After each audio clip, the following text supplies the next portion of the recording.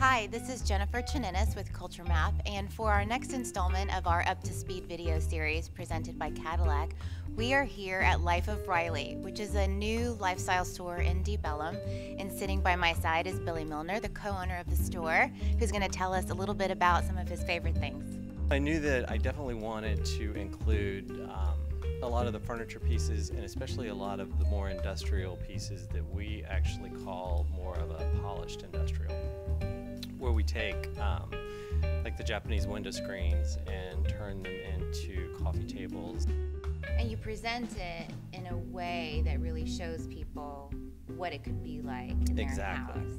Yeah. You know, I would say that um, coming in here, it's less of a store and more of a place that you kind of want to hang out, and it evokes sort of the feeling that you want to have at home. So, is that what you were hoping people would feel when they came in here? it's exactly what we were hoping, and sometimes I mean, it's it's good and it's bad because we do have some people that come in they don't realize the furniture's for sale. They feel like that we've just created this really great space that they can come and buy small stuff and then just hang out. Which I'm like, oh no, the sofa and all the chairs and everything else around you is also for sale, but people are figuring it out.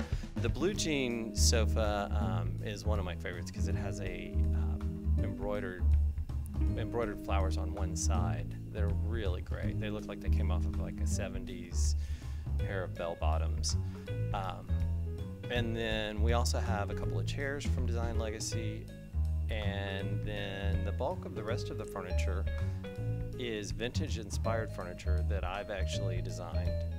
Why don't you tell us a little bit about the candles and the rest of the gift selection that's available here? That was one of the one of the more fun aspects of getting the store ready to open. We actually went to the fragrance house and we're able to actually mix the stuff ourselves and come up with a fragrance. Uh, we started off with one and we've just recently added two more. One of the other things that you notice right away when you walk into the store are all these unbelievable maps. Yeah, I started collecting maps probably about 20 years ago. Some that are here are some that I've had for a long time. I just have never had a place to hang them. People are wondering what is it with the name Life of Riley?